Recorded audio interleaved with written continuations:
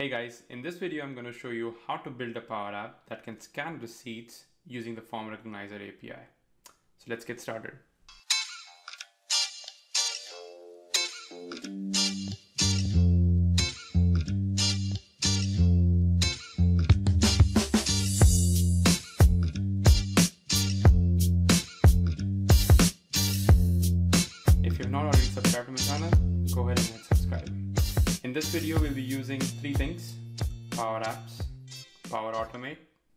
And the Azure Cognitive Services Form Recognizer API. So the first thing that we're gonna do is we'll uh, create a resource using the Form Recognizer API and get our keys and stuff.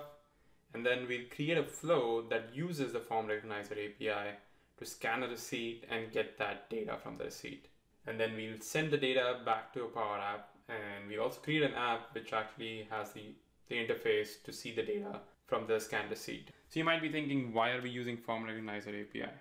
So Form Recognizer API is Azure's kind of the API that you can use to analyze forms, receipts, and other kind of key value pair data. They already have a pre-built custom model for receipts, so you don't have to train any models or anything. You can just use this model out of the box to scan receipts and then get that data and process it and save it in whichever data source you want to save it. So let's jump on and create the Form Recognizer API resource. Before we start creating, let's have a quick look at the demo of the solution. So here you can see I have a Power App already created where I can click on the scanner receipt, which will ask me to attach a photo. Uh, in this case, I'm using on my PC, so I'll have to select a file. Otherwise, I can if I'm opening on my phone, I can select a photo. So I did upload a receipt and now it's uh, analyzing it. And within a few, I guess, seconds, we'll see the details that were there in the receipt. All right, so you can see the merchant name came up, the merchant address, phone number, transaction date and time, the items inside uh, the receipt, and also the subtotal, tax, tip, total everything. And I can kind of click on this to have a look at the receipt. So you can see the receipt here. And then just click on upload receipt. And this will add it to a SharePoint list which I already created here. So we'll just refresh it and we'll see that in the list. All right. So it showed up. It has all the details. And then if I click on it so you can see the customized Power App here with the receipt image and all the details. I can make some changes even here and then hit save. This is how you can get your receipt data into any data source. Here in this case, I have I'm using a SharePoint list. So let's go and start creating now. So the first thing that we want to create is the Azure Cognitive Services API resource. If you go to your Azure portal, just search for Form Recognizer and then you'll see that Form Recognizer option and then once you click on that, you'll be given this, this form which you can enter in the details. You can add a name for it. You can choose a subscription. Now there is a pricing tier which is free, so 500 pages per month. Um, you can do it for free, so for testing you can use that. Then if you don't have a resource group created, you'll have to create a new one and then confirm and then create. Now I already have a resource created. So this is my resource, that API guy forms. I can click on keys and endpoint to get my key. Uh, so these are the two keys. I can copy this and paste it um, somewhere so that I can use it in my flow later. And uh, here on the overview page of the resource, you can see what kind of quota you have. And as you kind of keep using it, it kind of uh, keep reducing. So you can keep a track on how many of you're using. So let's uh, go now and create our flow, which will access this resource. So let's start working on the flow now, which will access the form recognizer API and then send the data back to Power Apps. So I started the flow with a Power Apps trigger. The second thing that we want to add is uh, we want to get the image from the Power App. So we'll use a compose and this will be ask in Power Apps. And the next step that you want to do is you want to create an, an HTTP request. This would be a post because I'm sending basically an image data to it. The, the URL needed for this. So this is my URL, but in your case, your URL will be a bit different and the URL that you need to access will be available here. So this, this is the endpoint. you can copy that and then followed by form recognizer slash v2.0 preview slash pre-build slash receipt slash analyze. So this is the endpoint that is used to scan a receipt and uh, kind of get the key value pairs from that. For the headers, we will be putting in two headers. One is for the content type. Now the content type is a is the content type of the the document that you're sending. So it could be a JPEG, it could be a PDF. For the API to understand that, you need to send what type of data it is. So for the content type, you're going to use an expression, which is going to be something like this. The first thing that I'm doing is I'm converting the data URI, which I get from Power Apps to binary data. And then that to, to convert, so basically the data URI that you get from Power Apps will have double quotes in the, the initial part of the string and the end. So you want to remove that. I know it's a bit weird issue, but this is how I kind of solve it. So I replace the double quotes with blank so that I get rid of the, the initial and the end double quotes in the string. So that's my data URI and then I'm converting it to binary. Now the, the other thing that I need is I need the content type. So this is just converting it to binary. That's not what I want here. I want the content type and that is the property that you can access using this dollar content slash type. This is how you'll get the type of the document. So I'll click on OK and um, you can see the expression here just to make sure that it went through. The next thing that I want to add is the API key. So this is the header that I need to use for it. And this is my API key. Now, if you're wondering where do I find all these headers that I need to pass to that API call, you can go to this link, which I'll paste it in the description of the video, um, which has all these endpoints that you can access for the form recognizer API.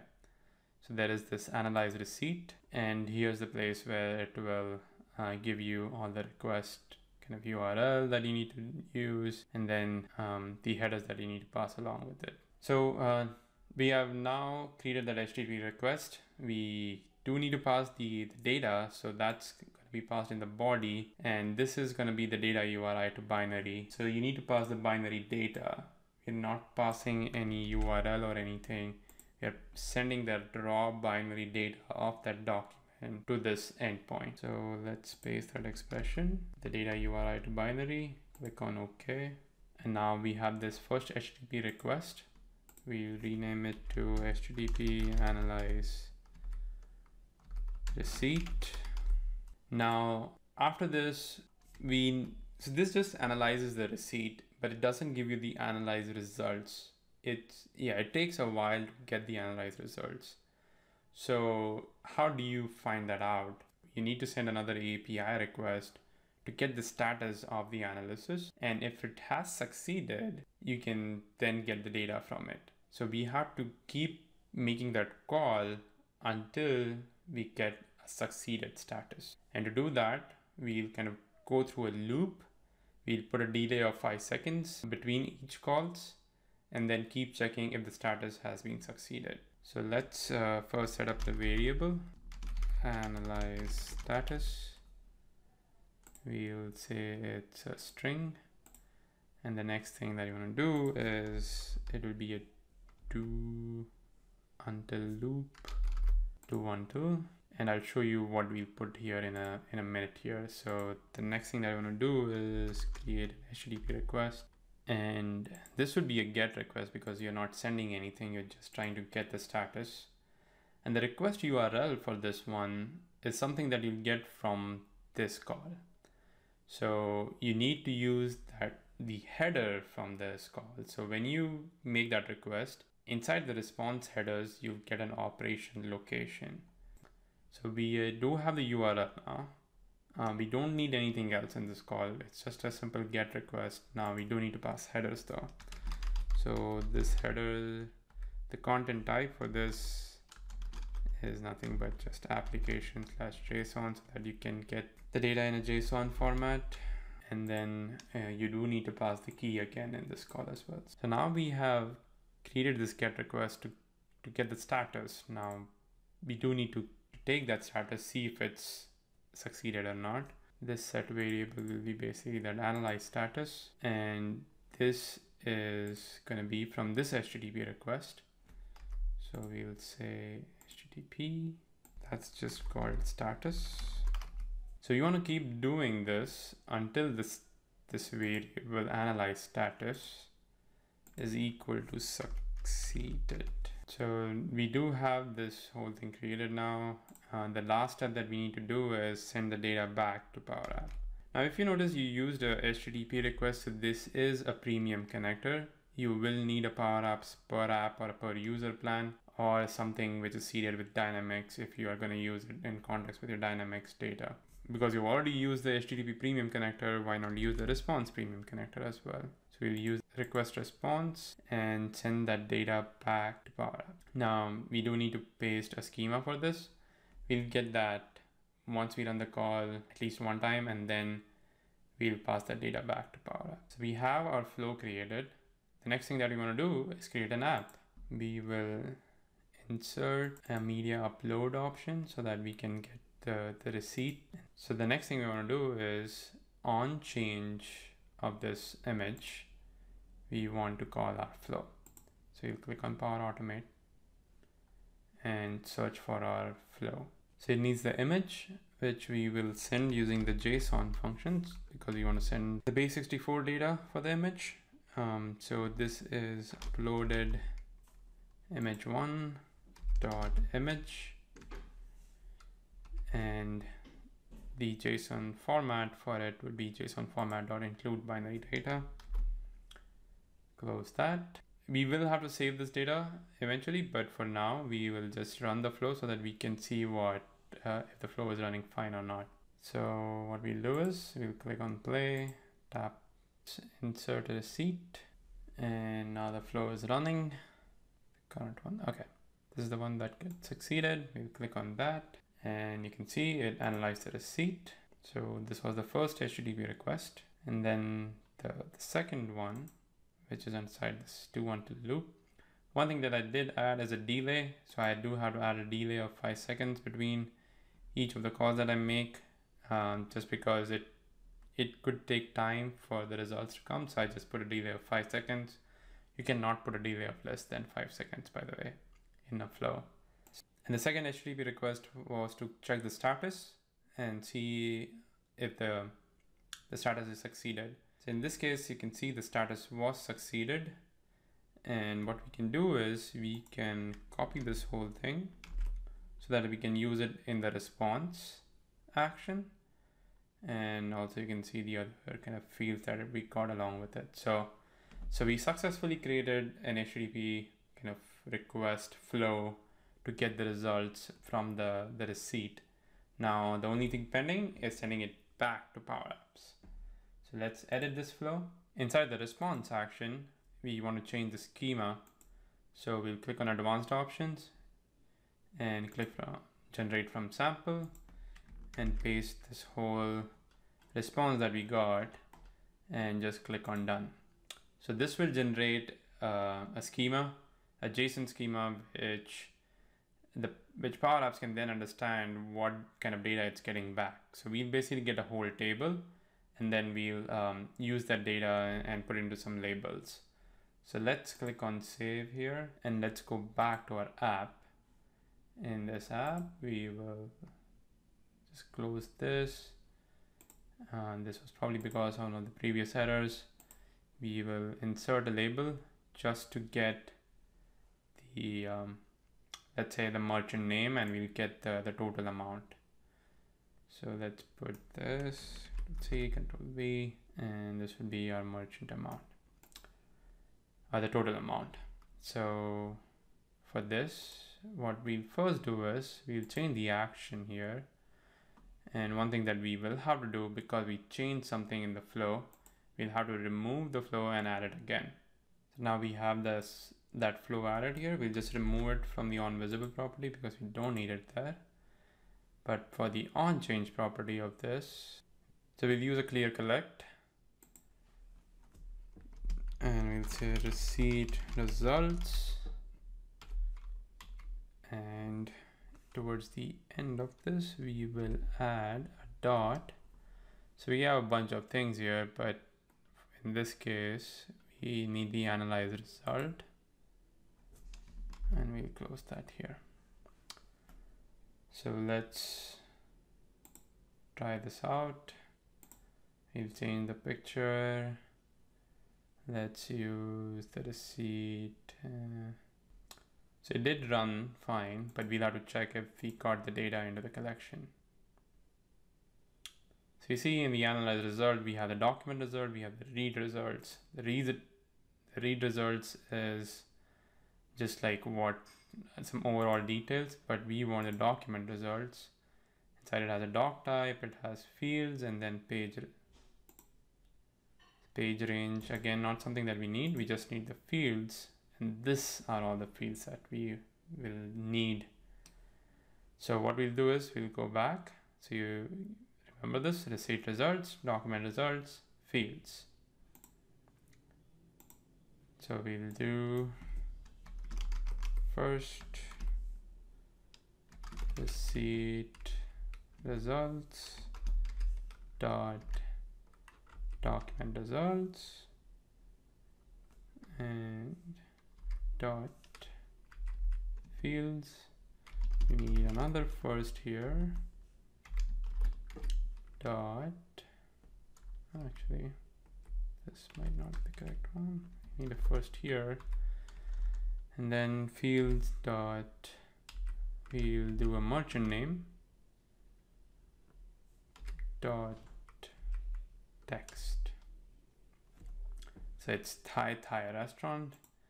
And then what we also need is the the value of this. We just copy this paste it in here. Instead of merchant name we will get this mm, the let's do it the total and dot text. So that's the total amount. So yeah we got some results from the receipt you can get other results. The other things that you can get along with it is also the the, the confidence levels as well. So you can um, look at the confidence levels you can determine if you want it above some percentage you can limit it to that. And then based on that you can develop a model to either let it go through an approval go to the manager and then send it to the sharepoint list or um, add it to an expense report and then create an approval for the expense report then send it to the manager. So that is something that will depend on how this and apply it in your business use case. But i just wanted to show you how you can scan the seats using the form recognizer API, Power Apps, and Power Automate so that you can build this out without kind of spending anything on understanding the the model that is used, the AI model that is used for analyzing these receipts. Now, Form Recognizer API is still in preview. It's not in production yet. So it's still something that I would say you can play around with, but not probably ready to deploy into your business solutions you can probably test it with a few people, but yeah, I wouldn't go for a production version of it yet. And the last thing that I want to share is how much money am I paying for this? So the form recognizer API in itself is super cheap. That's like $5 per thousand pages. So you're almost paying like half a cent per page. So that's nothing, but you will need a Power Apps per app or a per user plan because you are doing HTTP request, which requires a premium uh, license, and you can only get that along with the Power Apps standalone license. You cannot use an Office 365 to do something like this. Now, the Form Recognizer API does have a connector in Flow, which is not premium, but it doesn't have the, the receipt analyzing capability. So let me show you that quickly here. So this is the form recognizer. If you search for that, there's a form recognizer action and it has all these um, actions which are for training models and getting the keys and all that stuff, but it doesn't have the pre-built receipt model. Hopefully, if they have that there, then you won't need even a Power Apps standalone license. You can just use in Power Apps with Office 365 and then create this app calling this API. You just need to pay for the form recognizer API then, which is barely anything. So I hope this video helped you in understanding this whole kind of solution, which covers two or three products, but you can integrate them together, integrate with the data source, SQL, SharePoint, or CDS, and then build this whole solution around scanning receipts. I know a lot of you guys use it and you want to build it for your business. So this is, I think, one of the best ways you can deploy it for your business use cases. So if you like the video, give it a thumbs up. Don't forget to subscribe to the channel and keep watching and keep building solutions using Power Platform. Thank you for watching.